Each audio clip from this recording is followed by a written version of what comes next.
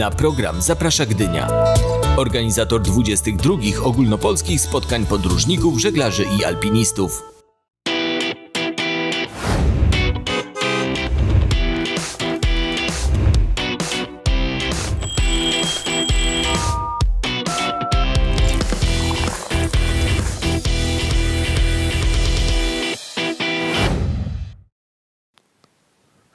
Tak, pięknie Was witamy. No właśnie, skąd? Przede wszystkim e, wiedzą to ci, którzy kochają polskie morze. Z Gdyni, zobaczcie, tak e, wygląda dziś e, pięknie poranek w Gdyni właśnie. Port Gdynia wita Was. Bardzo dobre, ciekawe miejsce, chociażby na weekend, chociaż ja osobiście pamiętam Gdynię jako najlepsze wakacyjne miejsce z dzieciństwa.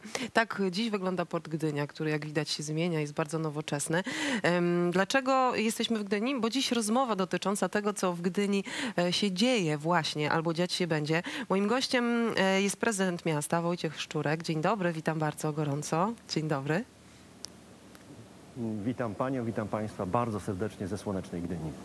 No właśnie, słoneczna, e, wakacyjna o każdej porze roku mam wrażenie, bo to miejsce, gdzie e, każdy z nas może znaleźć chwilę oddechu i relaksu nad polskim morzem. Em, W najbliższym czasie, dokładnie za dwa dni, 3 października ruszają wyjątkowe spotkania podróżników, żeglarzy i alpinistów. Ja jestem żeglarzem, podróżnikiem e, trochę też, alpinistą jeszcze nie, ale to tylko kwestia czasu pewnie. Mm, Proszę powiedzieć, e, jak te spotkania będą wyglądały w tym roku? E, Oczywiście pytam, ponieważ pandemia na pewno zmieniła plany i będą one trochę inne niż e, te, do których się przyzwyczailiśmy. W tym roku już po raz e, 22 zapraszamy do Gdyni 3 października na spotkanie podróżników, żeglarzy i alpinistów.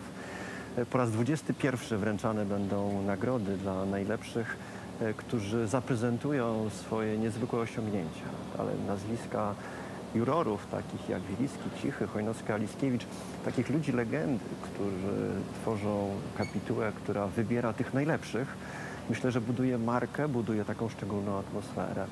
Bardzo się cieszę, że ta impreza pomimo wyzwań związanych z koronawirusem odbędzie się, odbędzie się online, ale ta szczególna atmosfera przygody, pasji. Wspomniała Pani, że alpinizm jest przepłanią, ale właśnie y, kolosy to takie miejsce, w którym często ludzie odkrywają swoją nową pasję, nie wiedząc jeszcze czasem o tym, że przed nimi wielkie wyzwania. Patrzą na wspaniałe postacie, niezwykłe przygody, y, planują własne i przekonują się jednej rzeczy takiej podstawowej, że przygoda czasem bardzo niezwykła jest na wyciągnięcie ręki, że wcale nie trzeba mieć wielkiego budżetu, ale odwagę, e, wyobraźnię i świat staje u stóp. Bardzo się cieszę i serdecznie zapraszam. E, Tegoroczna edycja, tak jak powiedziałem, online. Można ją będzie oglądać na stronach gdynia.pl oraz na profilu facebookowym Kolosów. To oznacza, że każdy z nas może być elementem, każdy z nas może e, łyknąć bakcyla tej przygody i podróży. Mm, Ja mam wrażenie, że w tej przygodzie, w podróżach, e, w zdobywaniu świata, czyli w tym wszystkim, czym kolosy są, najważniejsza jest ciekawość życia. Dlaczego o tym mówię? Y, Bo Gdynia jest bardzo ciekawym miastem. Od lat bardzo wysoko w rankingach najszczęśli- najszczęśliwszych mies- mieszkańców. E, Dlaczego tak jest? Dlaczego Gdynia powoduje, że mieszkający i przebywający tam ludzie są tak szczęśliwi? No, Gdynia ma tą szczęśliwość wpisaną w własne DNA. Tak było zawsze w historii, kiedy powstawało miasto. Tak jest e, także współcześnie. E, Nowoczesność, wysoka jakość życia, przyjazność, też pilnowanie o tym, żeby nie było w mieście osób pozbawionych opieki. E, Różne programy społeczne, które budujemy w mieście, to taka marka miasta. Gdynianie kochają swoje miasto, są bardzo z nim związani, znają jego historię, ale też bardzo aktywnie żyją współczesnością. Gdynia się zmienia. Co roku podejmujemy nowe wyzwania i myślę, że taka wspólna przygoda, którą podejmujemy z mieszkańcami, by Gdynia każdego roku była piękniejsza, by się każdy tu czuł jak u siebie, żeby była bardziej zielona, taka otwarta, to sprawia, że tu się po prostu dobrze żyje i co ważne, dobrze się tu czują zarówno Gdynianie, jak i ci, którzy do tego miasta przyjeżdżają. Czasem na chwilę, czasem, tak jak wspomniała Pani, e, z powodów takich turystycznych, ale także ci, którzy tu przybywają. Wystarczy parę miesięcy. Ci, którzy przybywają w Gdyni czują się już Gdynianami, czują tego ducha miasta, tego niezwykłego miejsca. Y, Ja patrzę na miejsce, w którym w tej chwili em, pan jest i poznaję oczywiście e, wszystkie zakamarki. One zmieniają się co chwilę, bo ten port, który jest e, e, za pana plecami, e, to bardzo e, nowa i nowoczesna inwestycja. Powiedziałabym e, taka na absolutnie skalę europejską. E, Czy w tej chwili można powiedzieć, że Gdynia staje się taką mariną, do której nie jeden żeglarz będzie chciał przynajmniej wpaść na chwilę?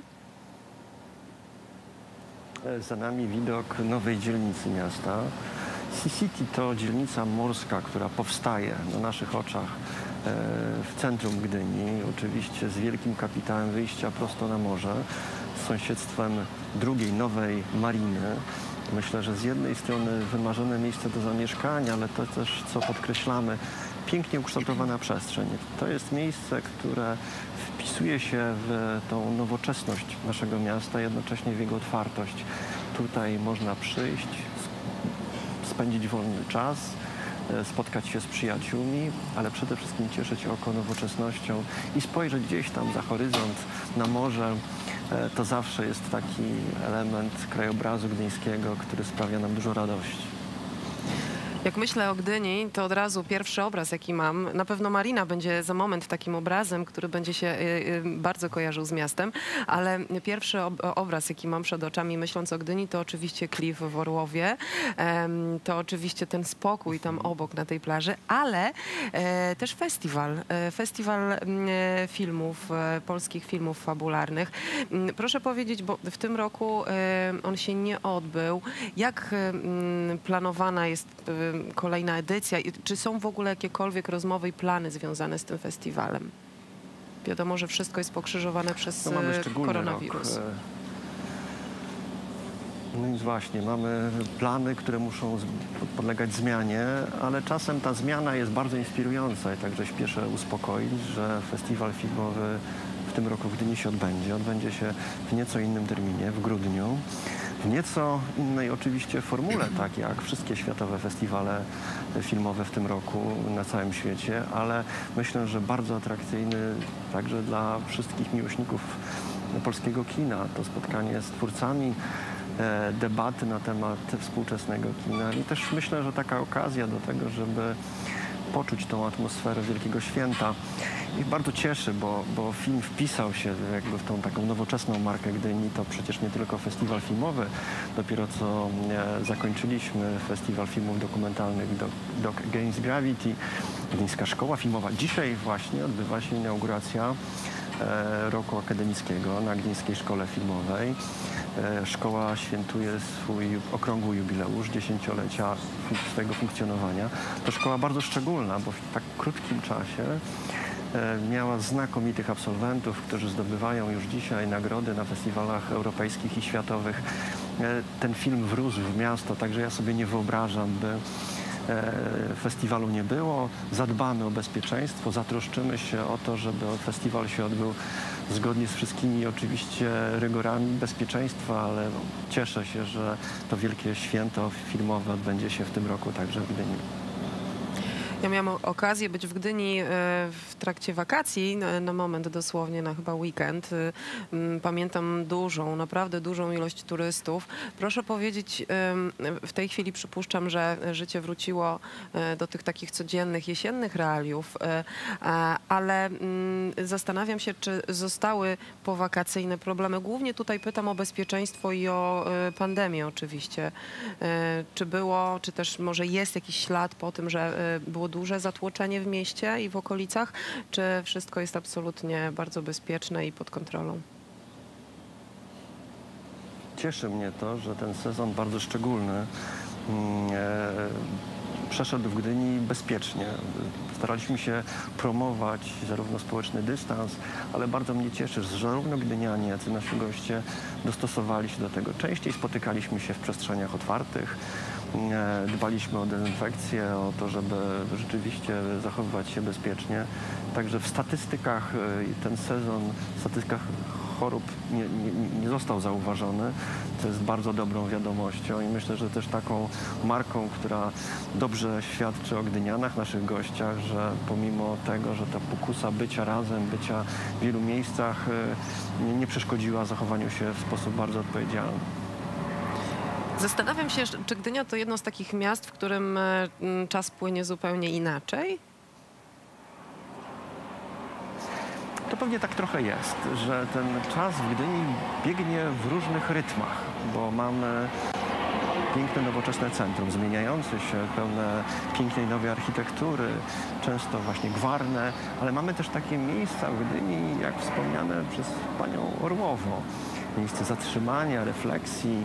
E, To powoduje, że każdy w zależności od nastroju może znaleźć tutaj dla siebie przyjazną przestrzeń, taka, która odpowiada jego nastrojowi, jego potrzebie. E, To wszystko sprawia, że z jednej strony tempo nowoczesnego miasta staramy się zmieniać, szukamy inspiracji w wymiarze światowym, szukamy nowych pomysłów, żeby nadążać za nowy, nowoczesnymi trendami, a jednocześnie dbamy o to, żeby elementem jakości życia był także relaks, spokój i wyciszenie.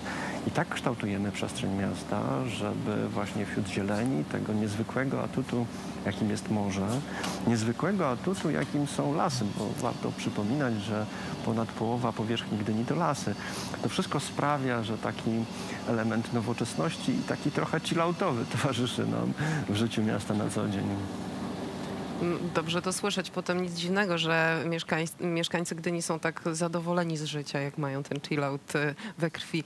Mm, y, Chciałam jeszcze zapytać o ekologię, bo y, ostatnio gdzieś wpadła w moje ręce informacja dotycząca tego, że jesteście pierwszym miastem, które wprowadziło dofinansowanie do rowerów, e, rowerów cargo. Rozumiem, że chcecie, aby mieszkańcy Gdyni przestali w ogóle używać samochodów i jesteście tutaj promotorami em, właśnie zachowania. Proszę powiedzieć, na czym polega em, cała akcja? No, e, w polskich miastach e, mieszkamy lubiąc troszkę nasze samochody. To powoduje, że wskaźniki ilości samochodów przypadających na tysiąc mieszkańców są znacznie wyższe niż w nowoczesnych miastach europejskich. Stąd bardzo konsekwentne działania, które zachęcają do tego, by korzystać z innych środków lokomocji, że e, nawet przewóz e, towarów może odbywać się rowerem, rowery, ścieżki rowerowe, nowoczesny transport e, miejski, nowoczesna komunikacja. Staramy się, by była nie tylko przyjazna, wygodna, komfortowa, ale także ekologiczna. E, Już e, 30% gdyńskiej komunikacji to komunikacja zeroemisyjna. Przed nami w ciągu najbliższego roku kolejne plany zakupowe nowego taboru komunikacji miejskiej, więc za rok połowa komunikacji miejskiej przemieszczająca się ulicami Gdyni nie będzie emitowała spalin. To bardzo ważne, bo właśnie troska o jakość środowiska, troska o ekologię, przyjazność, wprowadzone zmiany także w śródmieściu miasta, które powodują, że jest więcej przestrzeni zielonej. Na końcu skweru Kościuszki do niedawna funkcjonował parking, zamiast tego jest kawałek urządzonej zieleni, przestrzeni, gdzie można się spotkać, gdzie można przebywać. Wprowadzamy zmiany w organizacji ruchu. Ulica Świętojańska, taka kultowa ulica Tak. w Gdyni, jest od tego roku ulicą już jednokierunkową. Mogą tam w dwóch kierunkach przemieszczać się jedynie trolejbusy i rowery. E, Wunerw na ulicy Abrahama. Wprowadzanie takich elementów zieleni w przestrzenie, w których uczęszczają i przebywają gdynianie, powoduje, że powolutku zwalniamy tempo. I to z jednej strony służy jakości życia, a z drugiej strony właśnie przekonuje do tego, że te ekologiczne środki transportu, jakim jest rower czy komunikacja miejska, są zdecydowanie lepsze i gorąco namawiamy gdynian do korzystania z nich na co dzień. Rozmawialiśmy tutaj już o y, ku- kulturze, o filmie, o podróżach, o alpinizmie, o nowoczesności, ekologii. Muszę jeszcze na sam koniec zapytać o smaki miasta, e, bo mm, no, ja jestem, nie ukrywam, m, może to zabrzmi dziwnie, ale wielką fanką śledzia. E, Czy gdańszczanie y, w jakiś sposób kultywują go, czy rzeczywiście, gdynianie, przepraszam, w jakiś sposób e, kultywują go, czy śledź jest naprawdę numer też, jeden? Ale Gdynianie zdecydowanie. Gdy- Gdynianie zdecydowanie, no bo my jesteśmy miastem nowoczesnym, a pamiętamy, że jeszcze 100 lat temu y, w miejscu Gdyni była wioska rybacka, Tak. ale ta tradycja kulinarna przetrwała. E, Warto e, także podkreślić, że ona uzyskuje takie nowe wymiary. W tym roku hitem był śledź na chrupko, takie chipsy ch- chrup, e, śledziowe dostępne w Orłowie, ale e, śledź jest elementem menu bardzo wielu wspaniałych e, gdyńskich restauracji. Warto podkreślić, że Gdynia słynie z dobrych restauracji ze znakomitej kuchni. Najlepsze z nich tworzą taki szlak kulinarny, i organizujemy wokół tego szlaku kulinarnego co roku imprezy, które e, zachęcają do tego, żeby odwiedzać dobre restauracje. Śledź, który jest nie tylko zdrowy, ale co warto podkreślać, on bardzo dobrze poprawia nastrój, także sprawia, że czujemy się lepiej, bardziej pogodniej, kochamy miejsce, w którym żyjemy i wpływa na jakość życia, która tak ważnym elementem jest w naszych działaniach na rzecz Gdyni, więc śledź niezwykle istotną rolę ma w życiu naszego miasta, co mnie bardzo cieszy. Trochę symbolicznie, ale też kulinarnie poprawia nam nastrój i wpływa na nasze zdrowie. Powiem szczerze, że to bardzo dobra wiadomość na, dla wszystkich tych, którzy dzisiaj na przykład wstali lewą nogą. Pierwszy krok po śledzia. Zapraszamy Was do Gdyni. Dziękuję bardzo serdecznie. Wojciech Koniecznie. e, Szczurek, e, prezydent miasta, e, był moim gościem. No do zobaczenia po prostu tam na miejscu, bo tego Wam wszystkim życzę. Przynajmniej taki szybki weekend właśnie tam. Dziękuję i do zobaczenia. Do usłyszenia. Miłego dnia. Serdecznie zapraszamy do Gdyni.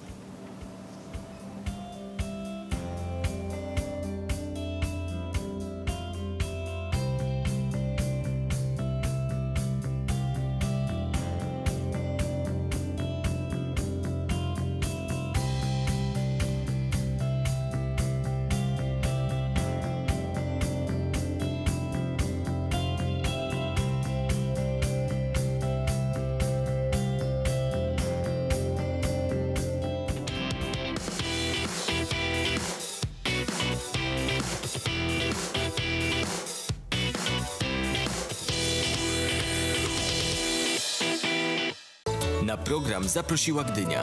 Organizator 22 ogólnopolskich spotkań podróżników, żeglarzy i alpinistów.